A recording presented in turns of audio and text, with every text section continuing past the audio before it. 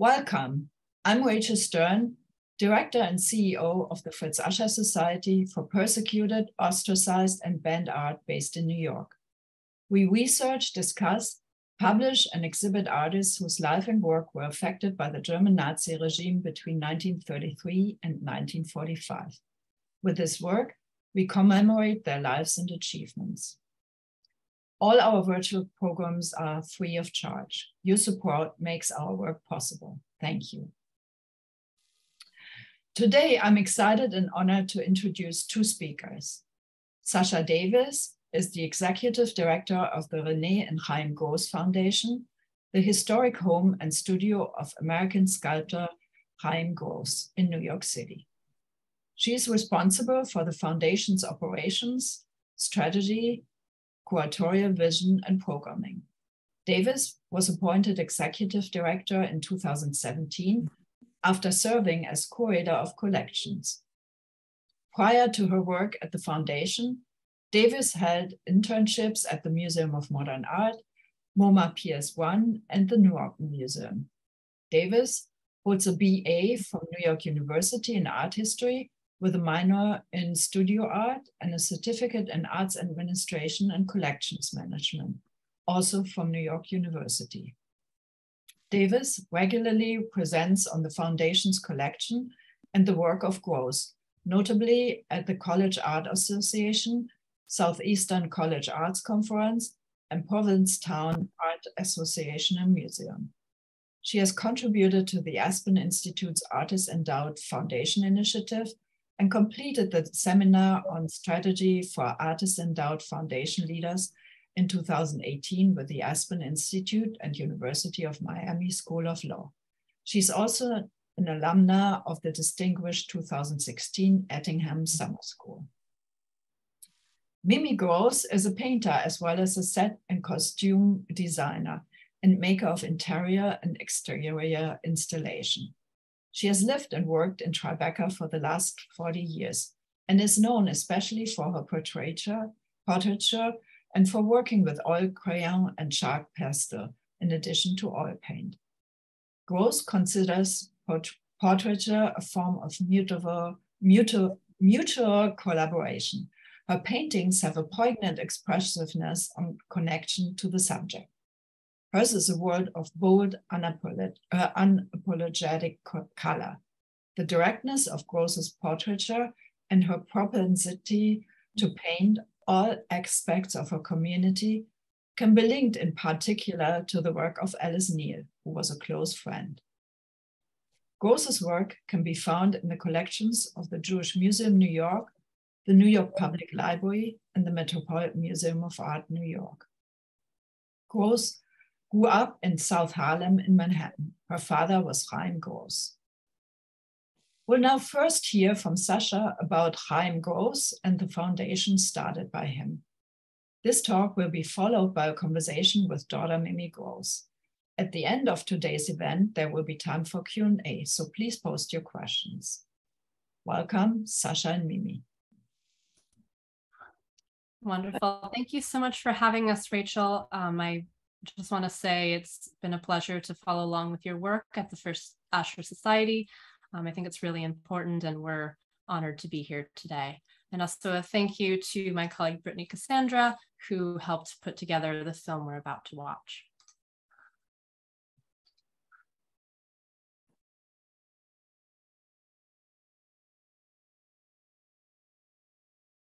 Chaim Gross's legacy is defined by a commitment to his work as a sculptor, a lifelong collector, and a dedicated teacher.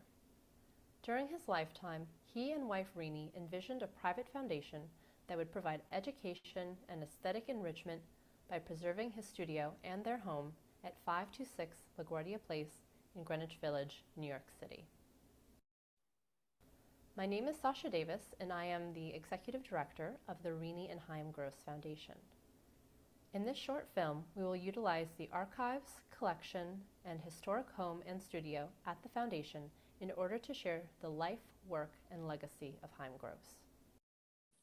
Gross's life experiences, especially the traumatic events that occurred during his childhood in Europe, and his struggles as a young artist in the United States, helped to shape his philanthropic vision and determination to espouse joy in his work. Gross worked in a variety of mediums, but is best known for his sculpture in wood. He also worked in stone and bronze, drew copiously from his life and imagination, and made prints, primarily lithographs. Gross favored depictions of circus performers, dancers, and intimate pairings of mothers with children. His style combined modernist African and folk forms, and he pulled from his extensive knowledge of global art history. This is the first floor gallery and studio where Gross worked for 28 years. The sculpture studio displays Gross's tools, materials, and finished works from the mid 1920s to works in progress left in place after his passing in 1991.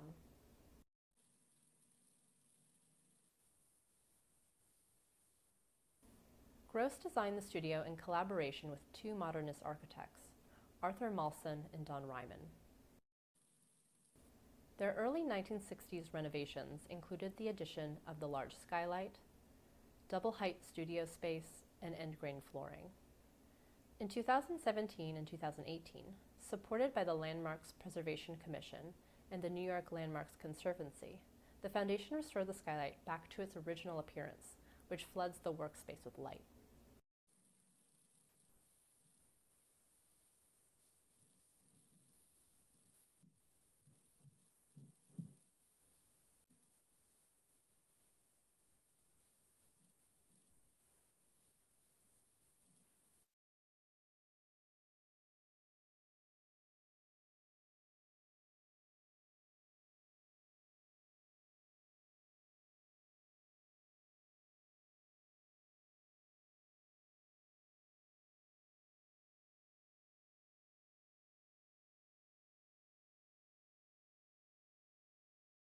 Although not known as a portraitist, Gross completed a number of portraits, often working in bronze.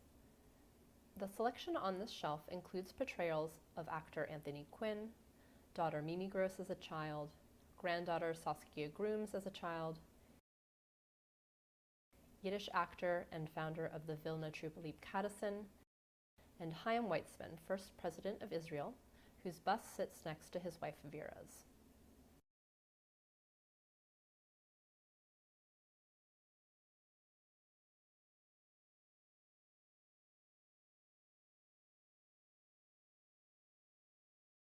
Gross was born in 1902, the 10th child born to his parents, Leah Sperber and Moishe Gross, in an area called Galicia that was at the time part of eastern Austria-Hungary, but now Ukraine. Although Gross was the 10th born, only five children made it to adulthood due to illness. This photo captures four of the five children, Abraham, Sarah, Chaim, and Pinchas. Elder brother Naphtali had already immigrated to the US. Moishe was a timber appraiser, and Chaim Gross grew up surrounded by the woods of the Carpathian Mountains. Many links are made between Gross's early childhood and his eventual direction as an artist. The focus on family, acrobats from the circus, and the love of wood carving. In 1911, the Gross family relocated from the small village of Volova to the nearby town of Kolomea. Three years later, at the beginning of World War I, Russian forces invaded the area. The Russian Imperial Army ceded control from the infantry to a cavalry of Cossack soldiers, and they were given free rein. Gross witnessed a brutal attack on his parents in their home, the Cossack soldiers armed with sabers. Amazingly, they survived the ordeal.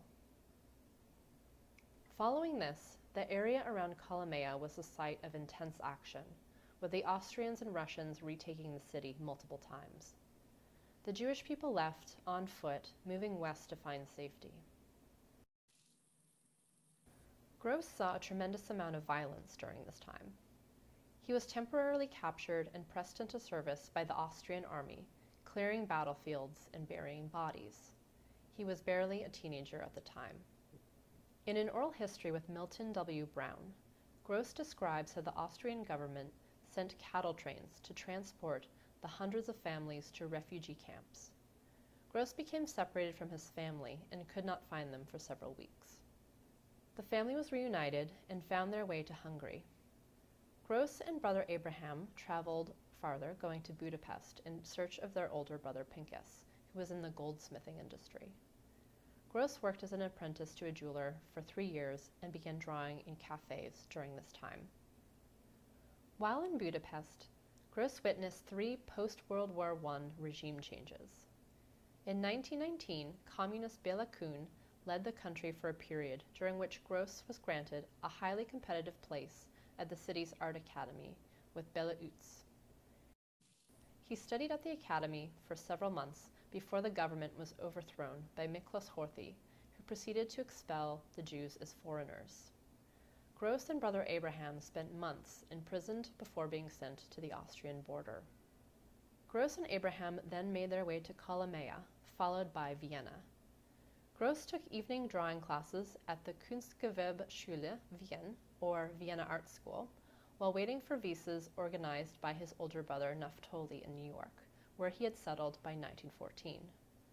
Like Chaim, Naftoli was artistically inclined and pursued work as a poet, translator from Yiddish, and journalist for the Jewish Daily Forward. Gross and Abraham departed on April 2, 1921, at Le Havre, France, on the SS La Bourdonnais, and arrived on April 14, 1921, at Ellis Island.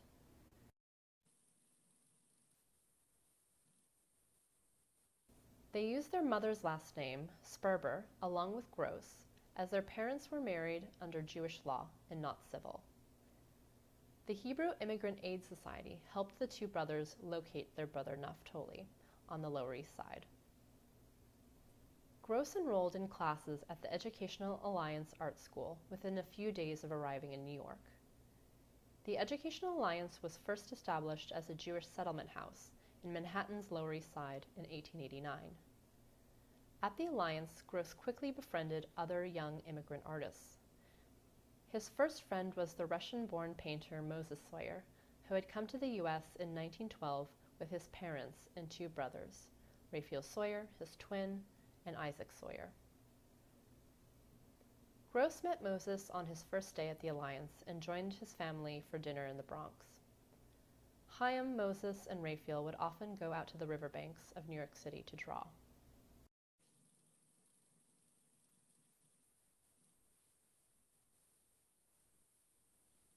In addition to his training at the Educational Alliance, Gross studied at the Beaux-Arts Institute of Design with various teachers that included sculptor Elie Nadelman and with Robert Laurent at the Art Students League. He learned direct carving from Laurent. Beginning in 1924, Gross exhibited regularly at the Educational Alliance, the Jewish Art Center, and the Whitney Studio Club. Once he had his own small studio in 1927, Gross began to work primarily in wood. The same year, he began teaching at the Educational Alliance Art School, which became a cornerstone of his life and work for over 50 years. His most well-known student was the sculptor Louise Nevelson, who had been primarily a painter until her class with Gross. This painting, done around 1934, dates from the time Nevelson was Gross's student. In 1932, Gross had his first solo exhibition at Gallery 144, where he showed a selection of 31 sculptures. Sculptor William Zorach wrote the exhibition pamphlet introduction, saying, quote, His work is spirited, youthful, and alive. His figures and animals deal with forms of life around him, sometimes in a light and humorous vein. Americans are inclined to take their art seriously. We should be most grateful for these rare qualities of lightness and play in the work of an artist. End quote. Gross is credited with helping to revive and popularize the direct carving method in the United States. Direct carving describes a subtractive method of making sculpture, beginning with a block of material and not making preparatory models. Gross prioritized keeping the inherent natural properties of the wood or stone, along with visible tool marks that show the hand of the artist. Gross carved these works using hand tools, most of which can be seen in the preserved studio at LaGuardia Place. While most of his works show universal themes, some reflect on contemporary events. This two-part totemic sculpture owes directly to Gross's reverence for African sculpture. On the left is the Lindbergh family from 1932, and on the right is the conclusion of these events in 1934, the trial and conviction of Bruno Richard Hauptmann.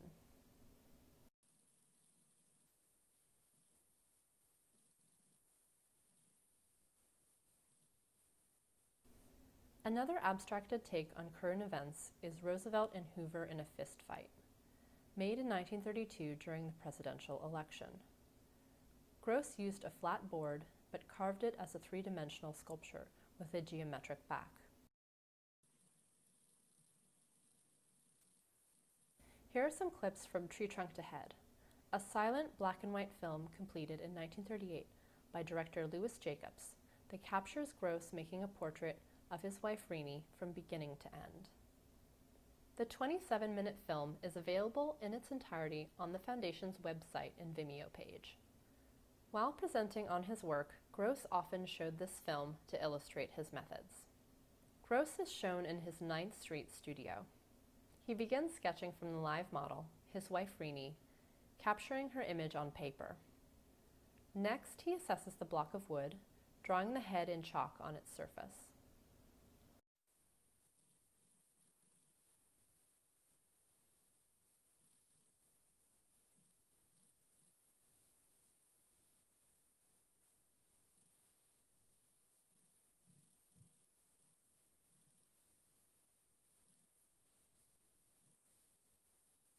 Once ready to cut into the material, Gross uses a mallet and gouge, beginning with larger, more aggressive tools before working with more precision.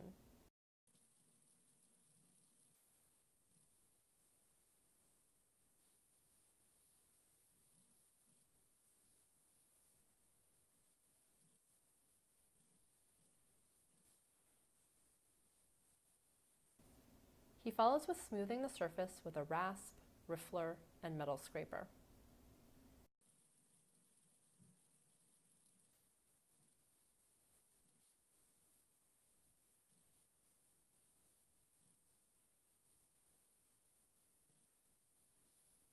In footage not shown here, he sands the sculpture, applies a French finish, buffs the surface with steel wool, and applies a coat of wax. He ends with a side-by-side comparison of Renee and the completed portrait. Renee Nachin was born in 1909 in what was then the Russian Empire, now Lithuania, and immigrated to the US with her family in 1921. She studied literature at Brooklyn College and maintained a strong interest in poetry throughout her life. She and Gross met in 1929, but her parents were concerned about the match due to Gross's apparent lack of prospects. After borrowing the money for the license, they married in December 1932. This painting by Moses Soyer was given to them in celebration of their wedding. They went on to have two children, son Yehuda and daughter Mimi.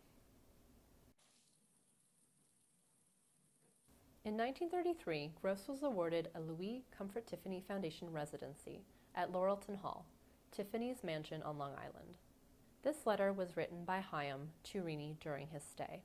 The letter, which has been translated into English from Yiddish, mentions visits from collectors, a figure in progress, and a finished work he calls Bloomer, now titled Mullein Plant Lamp. He says, quote, I have to also tell you that Mr. Lathrop brought Bloomer back to me. It's too big. It's too high for a lamp, and so the whole thing fell through but maybe he'll think about it again and buy something. It's too bad because $25 can't just walk around. End quote. It is likely that this early experience as an artist in residence helped to shape Gross's vision for future giving to young artists, as later reflected in scholarships and the establishment of the foundation.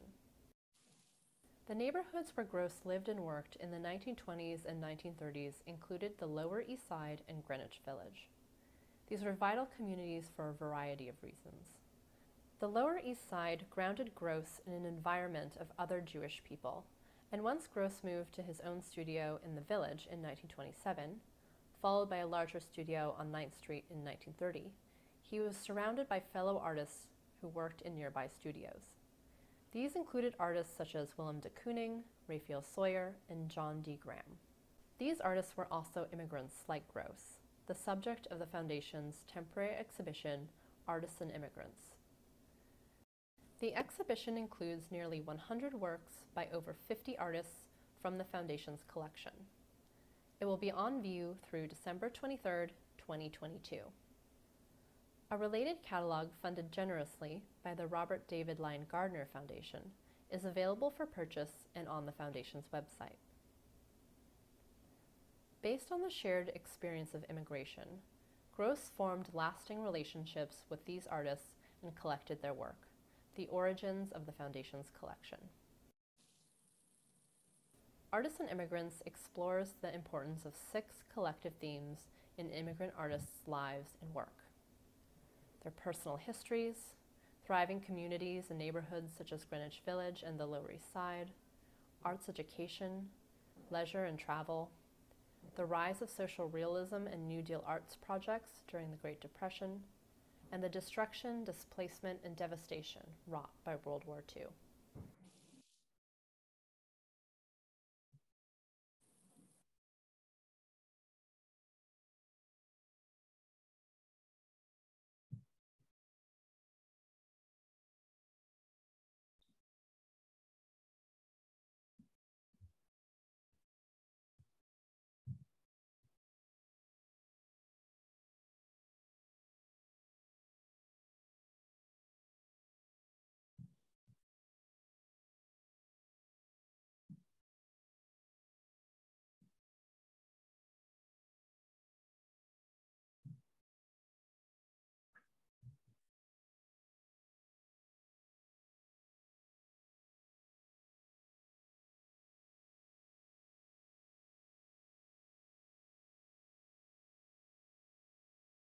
Gross, like many artists of his generation, survived the Great Depression as a direct result of the various New Deal arts projects.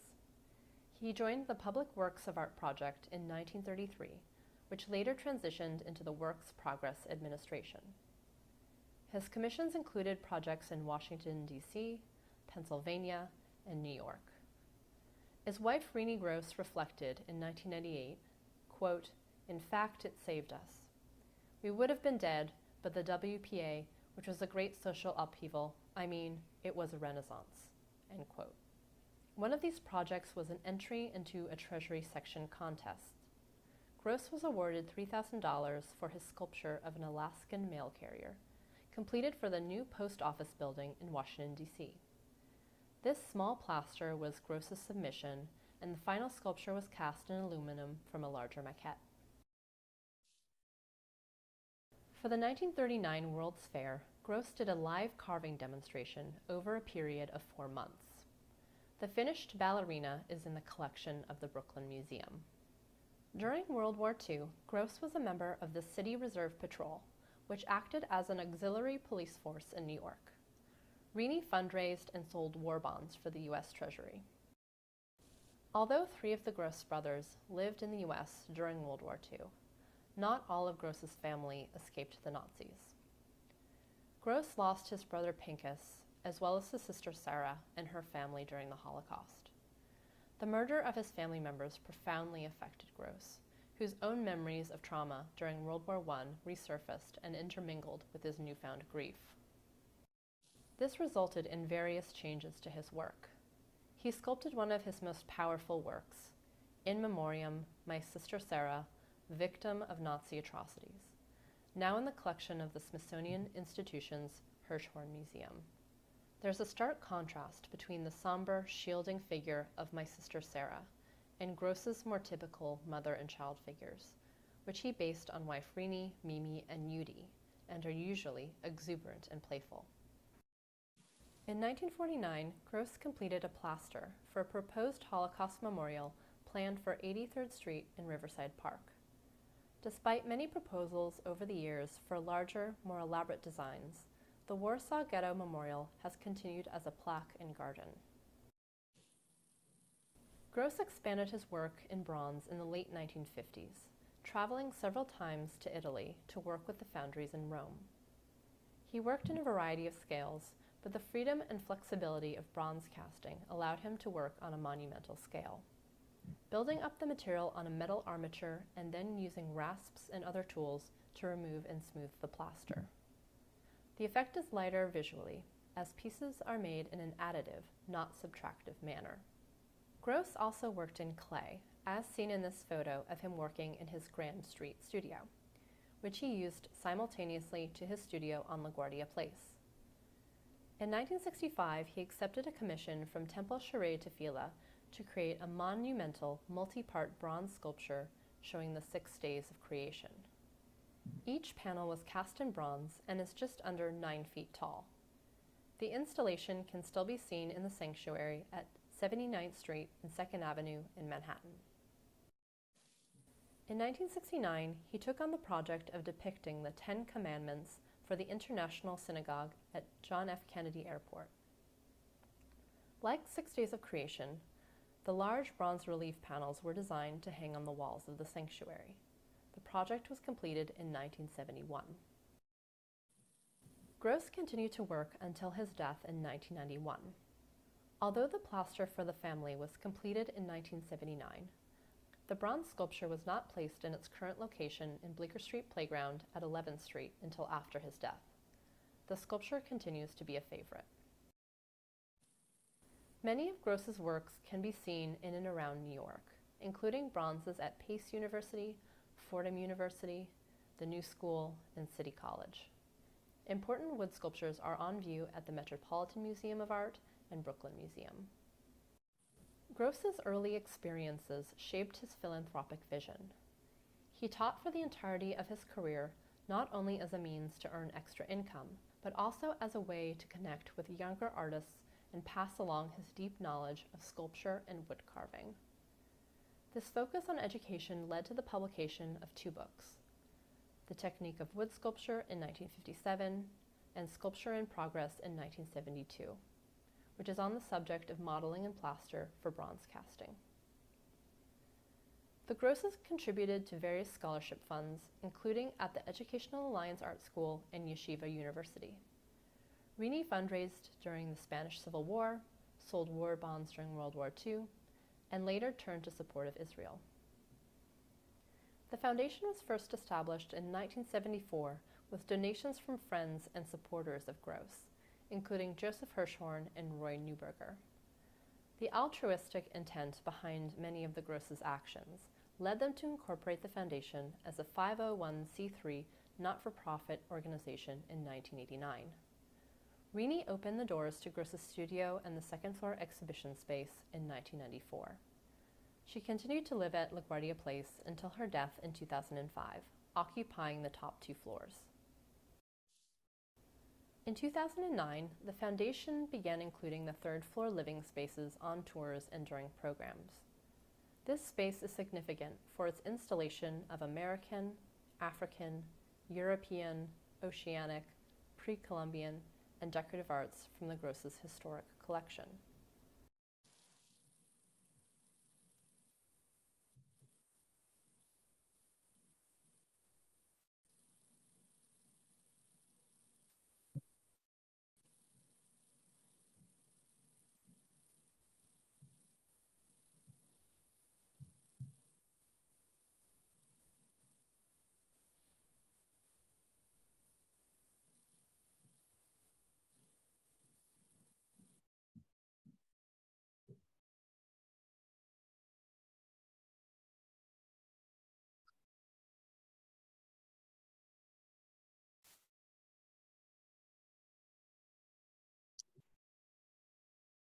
The Foundation also maintains an archive in Gross's extensive art history library.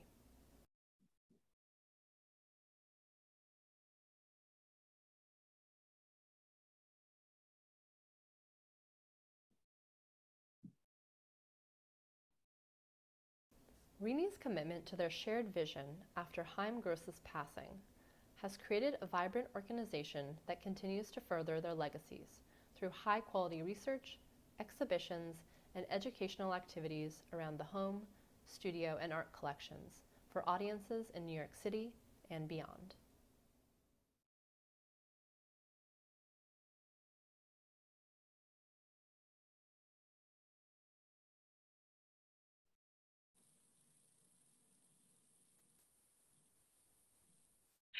Thank you so mm. much, Sasha. I had myself muted not to disturb you. Thank you so much. What a what a tour. Um, I, I think there's so many questions already, but now um, we're going from one highlight to the next as I'm uh, welcoming Mimi into the conversation. Uh, hi, Mimi, and I'm really, really excited that you will share now your experiences and talk to Sasha about what it me what it meant to grow up as Mimi Gross.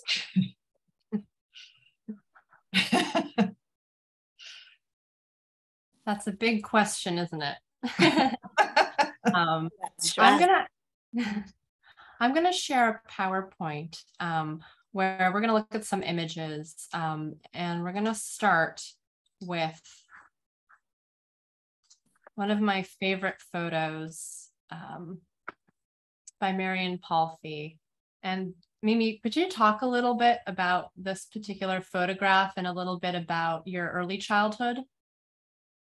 Well, I don't have too much memory of that age, mm-hmm. but it's during uh, World War II. My father uh, was a, a substitute policeman. He tried to enlist, but because he had a family, he was given a city job, which was needed as well.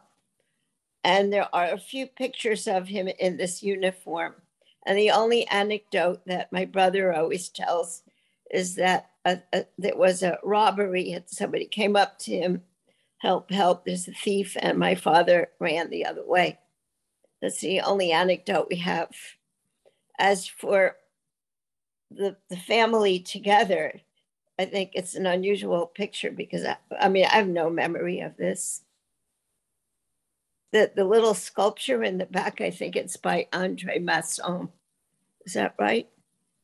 Yes, yes, that is Mimi. And next to it is also the mullein plant lamp, which was one of the works that uh, Chaim Gross did during his Louis Comfort Tiffany Foundation residency. So it's interesting that he had tried to, to sell it, had it returned, and then just kept it um, for his own home, which I think is wonderful. Um, and this particular artist is also interesting, the photographer. Um, if no one's um, heard of her, just to say a few sentences about her life. Um, she was from Germany um, and was essentially forced to uh, escape first to Amsterdam um, and then the United States in 1940. Uh, so she did a lot of social documentary photographs in the US and did a lot of sort of multi-part projects, um, which this uh, photograph was part of. I think she was living in our apartment at the time. There's some other photographs by her. And I remember somebody living there. That's really interesting. It's before my parents moved around the corner to the house where I grew up, which was 105th Street near Central Park.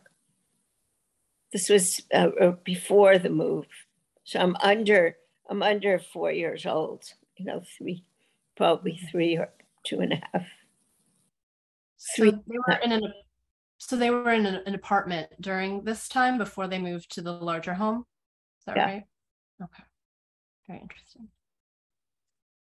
Um, and then I wanted to talk to you a little bit about uh, so some of Chaim's most important works, uh, one of which is uh, the Lindbergh family and the Hauptmann trial.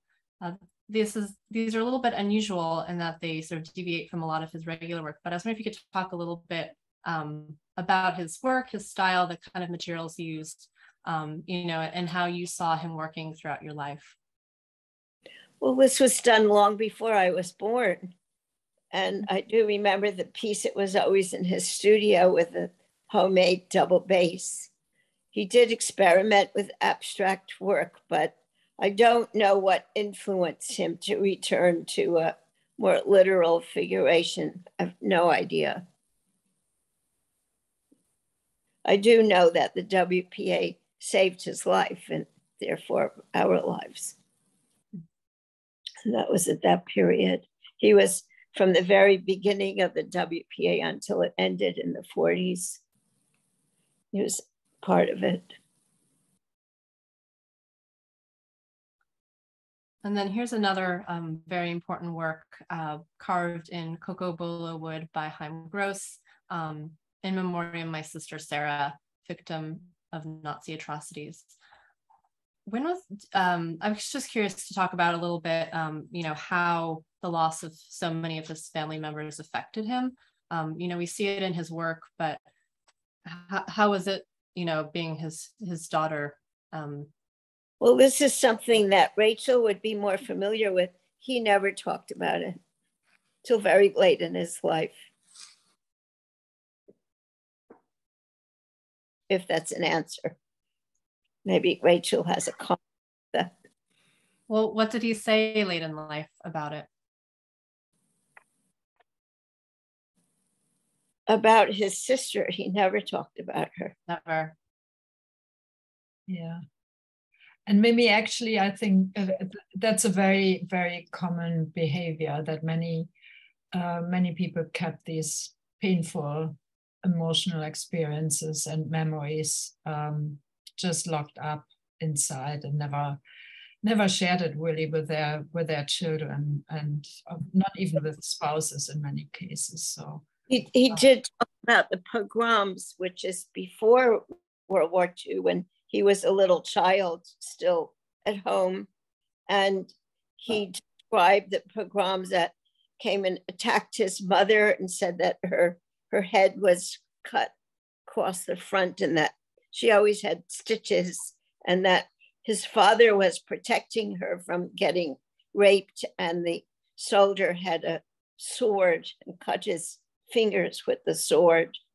And then they took his mother in a wheelbarrow to a relative to help them, I guess, to get some stitches.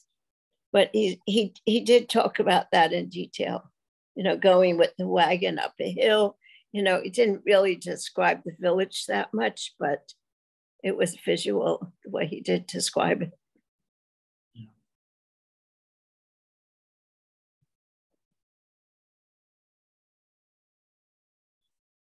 Mimi, I was curious to know a little bit more about uh, the work that Chaim did with his brother Naftoli, because clearly there was a strong um, artistic bent in the family that is now continued, you know, in your generation as well.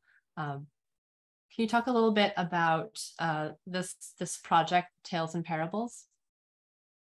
I don't know anything about it. Well, I how, mean, you know, I, I hope it's been translated, but I've never seen a translation. Have you? No, I don't have a copy of a translation. We only have it in Yiddish in our archives. But is there one? I don't know. We'll have to look it up. Uh, And this is a drawing by Mimi Gross that's in the Foundation's collection. It's called My Three Fathers. And in this drawing, we have uh, David Burliuk, Moses Soyer, and Chaim Gross. And there's also writing at the top by Burliuk as well. Um, tell me a little bit about your uh, connections with these other artists. Obviously, to, to make something like My Three Fathers, it must have been a very close relationship.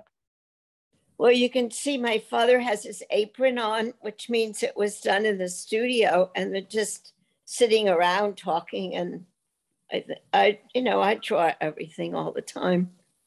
But the fact that Burliuk wrote all over it really gave it a special quality. He was, he was, they were mentors, you know, they encouraged me and they were great friends with Chaim. Burliuk was actually a giant and he always had a, an earring and a glass eye. He was a very unusual looking man.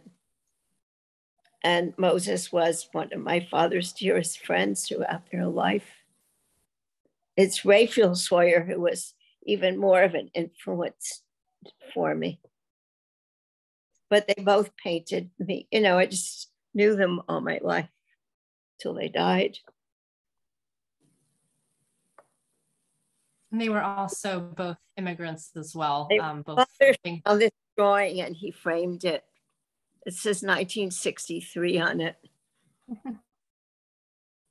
I was uh, 22 years old. Wonderful. And here, um, so here are a few images of works that we have in our Artists and Immigrants show. That's the exhibition that's on our second floor currently. Um, so this is the one of my favorite pieces um, by Moses Soyer. It's an oil painting, the portrait of your parents um, in the Ninth Street studio. Is that correct? Mm -hmm. It's a wonderful painting. One of the other fun aspects about it is not only does it show this, you know, closeness that they had physically and also, you know, Renee's in the studio, but there's also um, works from the collection that are still in the collection depicted on the wall behind. So there's a portrait of Chaim carving by Raphael Soyer that's in the painting itself. If I can uh, just briefly break in, Mimi, you said Rachel Soyer was uh, a much stronger influence on you than uh, than the men. Uh, uh, in what way was was she an influence? I meant I just although I knew them all my life and they were very important. It's just Raphael I spent a lot more time with. He mm -hmm. painted many many times, and he was always encouraging me about my own work. Mm-hmm. It's not that the others didn't. I don't mean to to mean that, but I right, just right, right. More time with Raphael. Mm-hmm. And he liked younger people in a way that he liked having them around his studio. And I have many friends who pose for him as well. Uh-huh. Mm-hmm. Does that answer your question? Yes, yes, yes, yes. Thank you. Of course. Thank you. And then uh, here's another oil painting. This is uh, Louise Nevelson's The Queen. Uh, we mentioned it in the video, but uh, I was curious, maybe did you um, get to meet Nevelson through your father? Yes, she was also a lifetime family friend, as well as her sister Lily and Mildwoff and, and her family, who were also very good friends. And she too was fantastically uh, encouraging to me as, as a young woman artist, you know, and said to just forget everybody, just forge ahead. She used a much more expletive word. she was a very bold person. And the work of the painting really holds up. It's wonderful. And it's great. There's a, a super interest in her sculpture now.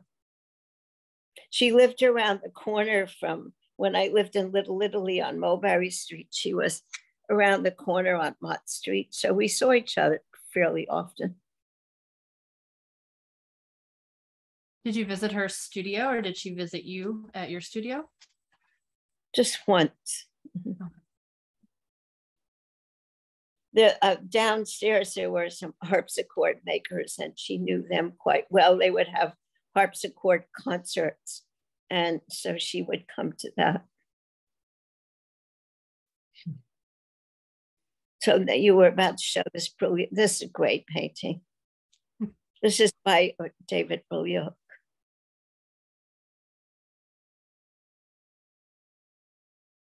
And it's it's hard to tell on the screen, but it's actually very and Nevelson too, very three dimensional and, and textured, um, very thick paint layer. Uh, mm-hmm. and Burliuk was very interesting because he had a whole life and career um, in Russia. A lot of the immigrants that we were looking at came as children, young adults, um, but he had this whole other life um, before immigrating, and he lived in Japan for a year um, before coming uh, to the US. And uh, so we have a few works by him in the collection um, and also some of his writings. He was a very interesting writer as well. We had a newspaper that he did with his wife. I don't know if you have copies of it, but it was wonderful. It was very vernacular. Is that color and rhyme? Color and rhyme, yes. Mm. They wrote everything. Mm. It was like four pages.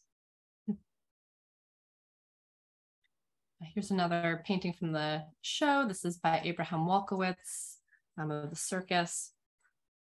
We have so many circus performers um, by Chaim Gross in the collection, so it's nice to see that his, you know, there are other artists interested in the circus as well. Well, Walkowitz had a great career early in his life, but later he was eclipsed and he became blind and sort of forgotten. And there's interest in his work today. There is, yeah. This this oil on canvas painting is pretty large, but we also have a number of these really beautiful small watercolors as well. So this one's very early, 1908, um, showing Orchard Street.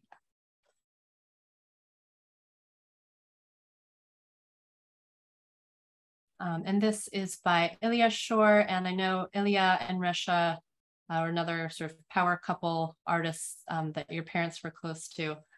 Uh, and their, right? their daughter Mira is a wonderful artist and writer, mm-hmm. who I thought Rachel would be interested to interview. I agree with that.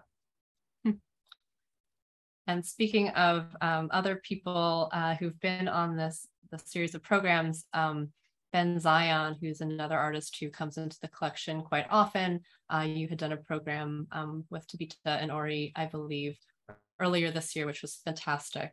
Um, but I just wanted to mention that um, Ben Zion um, is it's a character. Mm-hmm. And his house, his house is amazing. His collection and his house, is totally amazing. He collected much different kind of items than your father, though. Your father was, yeah.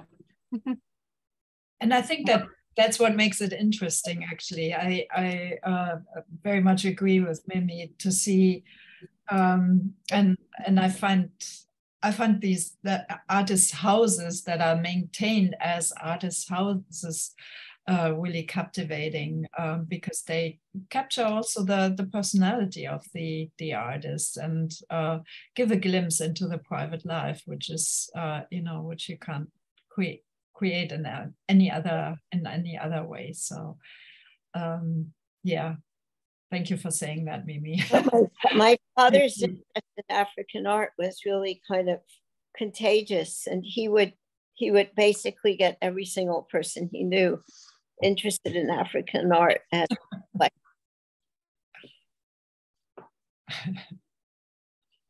Was he like that with any other areas of art or just African art?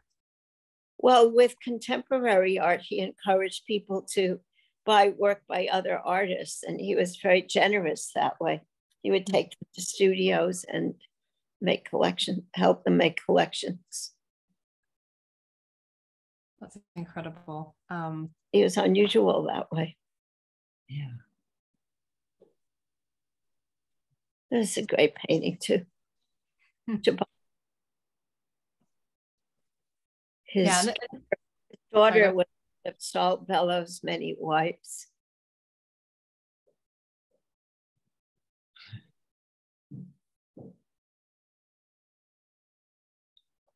This is another um, artist that's in the show, uh, Oluwus Guliemi, who was um, of Italian parentage, but actually born in Egypt and immigrated to the US.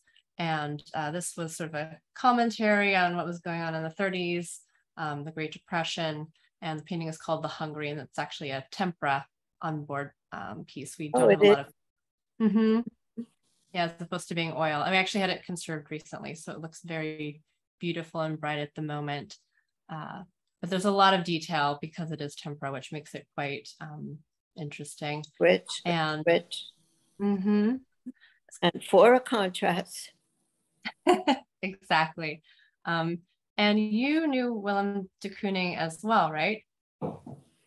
Yes, I, I mean, I met him several times, yes. Was when it like did, the artist that you showed earlier, who I knew all my life? Mm-hmm. But when did uh, your father first meet him? During the WPA, they were neighbors, and they were both on the on the uh, program. And then years later, they had a reunion in Rome, which they saw each other frequently at Rome. And that's how this drawing is from that time. Now, I had met him separately through Rudy Burckhardt mm. and then Saul Steinberg. Visited him with Saul Steinberg in uh, Amagansett. Mm-hmm. Interesting. Yeah. And I believe that uh, de Kooning was also kicked off of the WPA um, as being uh, an alien because he had come here um, without papers. He was a stowaway. yeah. I actually um, want to encourage everyone. We have a few more minutes to ask questions. So, uh, um, the first question is by Catherine. Uh, would Mimi or Sasha say more about Chaim and his brother Naftali Gross? Naftali was a very well-known Yiddish poet involved with the modernist literary movements among Yiddish-speaking immigrant writers in New York. Mimi, what do you remember about Naftali? I, I just want to say that he wrote for the Jewish Daily Forward for 45 years. He had a byline of, uh, of parables and proverbs. And um, my memory of Naftali is that he always scolded me for not learning Yiddish. And of course, he was, I was a child when he, still a young person when he died. But he was tall and imposing with huge black eyebrows and piercing eyes, and uh, actually very warm. And even though he was so imposing, and um, I have affectionate memory of him. I remember going to his apartment. It's the first place I saw stacks and stacks of papers and books sideways, just on tables piled up high. Mm-hmm. And his son Gershon, I was close to for many years. He um, immigrated to Israel mm-hmm. and know, the rest of his life and had his family there. Started a kibbutz that has my father's sculpture, and my mother and daughter went to visit them in Israel. Mm. Yeah. Unbelievable. My mother took my daughter Saskia on a, the Chaim Gross trip to Israel. They went to all the places where his work was. How old was your daughter at the time? She's uh, she's in college. Okay. Wow. um, is so Catherine is also asking, is the WPA post office sculpture still exhibited somewhere? Yeah, my brother went to see it. It's in Washington in the post office building, and it's apparently in an office, and one can request to see it. Oh, that's fabulous. Thank you. Um, yeah. And uh, yeah. Oh, I just wanted to say the the current name of the building is the uh, William Clinton uh, post office building, but it changes names regularly. Uh, there's a really good website um, that kind of covers all of the WPA New Arts, New Deal Arts um, locations, which is really helpful for that. And uh, because uh, it's hard to access, I haven't seen it in person, but I do recommend people look into it if possible. And Chaim wasn't the only one who had made these different sculptures. There's also ones by Alexander Calder and, and quite a few other artists um, who are very interesting. Mm-hmm. Yeah. Yeah, definitely something to, to revisit as. Uh, it's a subject that really needs to be covered. It's been very under, under not written about that much. It's known by anyone studying American art history, but it's, it's basically underknown. Mm-hmm. Art is underappreciated. Right, right. And from what I know, also um, many of the artworks weren't really um, placed well and aren't being, yeah, as you said, aren't being well, uh, the way not they should be. Ago, there was a, a, a, wonderful friend of my father's called Margolis, who had been an assistant to Diego Rivera when he worked in New York.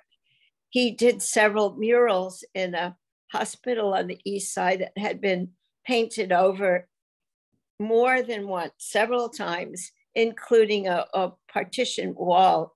And uh, about 10 years ago, it was restored. And they took all the paint away and found the murals, which were in medium, terrible shape, but they restored them. Mm-hmm. Very interesting. Yeah, and what a wonderful way to to support artists during a recession, right? I mean, yeah, we could do that now.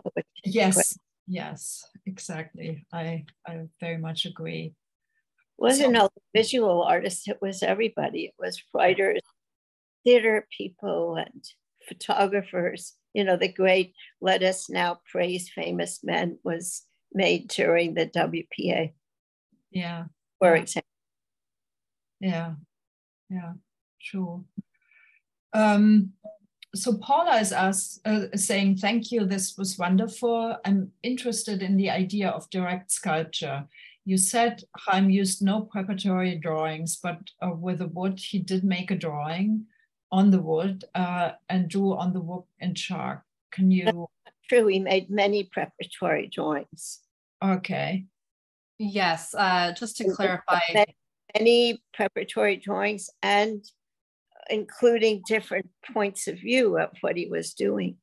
Mm-hmm. Yeah, so he didn't do preparatory models. So a lot of times when you're casting in bronze, and you'll you'll see this even in Chaim's work. Uh, for like example, the Alaskan mail carrier, he did the small plaster maquette that was submitted, and then eventually did a a four foot high version that was the one cast in aluminum. But generally for his wooden or stone sculptures, he would not have been making a small model in, in clay or plaster, he would have just used those uh, drawings on paper to transition to drawing on the wood. He said that. Of, sorry. He said that he needed somebody else to help him point, you know, to enlarge work. Um, he didn't have any assistants to point it up that he knew how to do it. And he specified Rodin, where you see um, cast, where you can see the places where the pointer left marks for enlarging a piece that he could at himself. Mm-hmm. That's just a typical note. Well, it's also really interesting that he didn't use assistants. Um, first, I mean, when you think about how prolific he was uh, throughout his career, and also the fact that he was dealing with these, you know, 300 pound logs quite often, I mean, that that must have been incredible to see as well. Yeah, yeah, very true.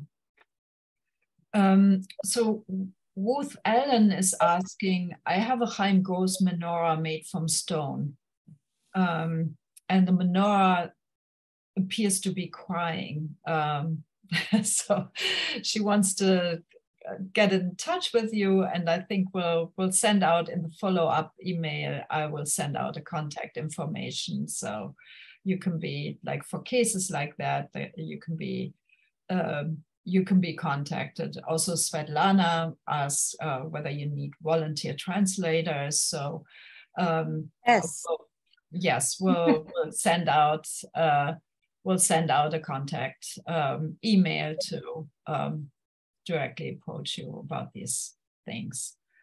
Um, yeah, thank you so much. The we never have enough time, but this was so full of, of information, and I'm I'm actually thank you so so much for this uh, really comprehensive uh, introduction into into uh, Chaim Gross's work. And um, I can um, actually recommend only to everybody who lives in the New York area or is planning a visit there here. Uh, I strongly recommend to uh, visit the Renee and Chaim Gross Foundation. Um, it is a magical place in which um, I find the artist's energy is uh, very still, very present still. So it's it's uh, uh, it's really worth a visit. And um, uh, thank you so much uh, again to Mimi and Sasha for your time and for introducing us. And I hope that all our listeners of today's event are uh, tuning in again on Monday uh, when for the Zoom event from generation to generation, the upbringing and art of Mimi Gross, when we're talking much more about Mimi herself and her art, which uh, which uh, I'm very much looking forward to. And uh, she will be speaking with Ori, uh, Georgetown University professor Ori Soltes. So um, something to look forward to. Um, thank you so much. And uh, thank you, Rachel. Thank you, Sasha. Thank you. All best wishes. Written is not shown, but scenes. Exactly. Thank you so much. Thank you. Thank you, Rachel. It's been a pleasure. Thank you.